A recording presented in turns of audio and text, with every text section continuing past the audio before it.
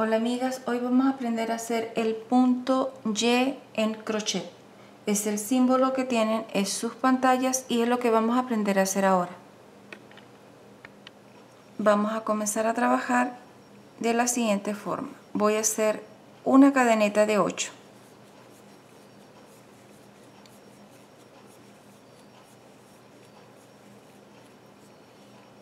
Voy a subir con una cadeneta de 3 que va a ser para la última cadeneta. Voy a dejar pasar un espacio. En el siguiente voy a hacer un punto doble.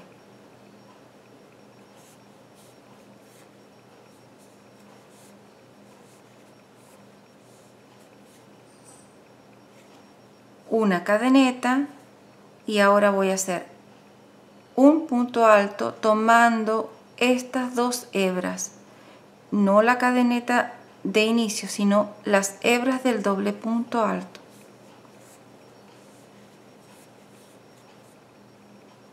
Y ahí ya formé la letra Y. Vamos a volver a repetirlo. Doble vuelta la aguja, dejo pasar dos.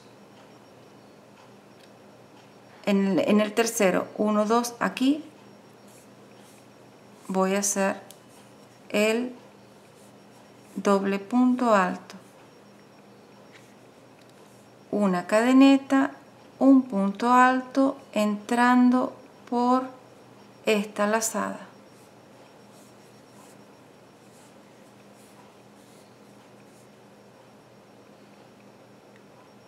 Y termino con un punto alto